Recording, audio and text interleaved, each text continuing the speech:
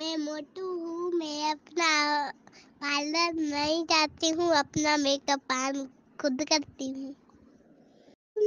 मैं बुर, मैं बेस लगाती हूँ मैं ब्रश लगाती मैं आई शेड लगाती वरी आखिर में वरी सुर्खी एकदम मैं पहले फेस लगाती फिर आई शेड फिर लिपस्टिक में बहुत सुंदर सी मोटू हूँ।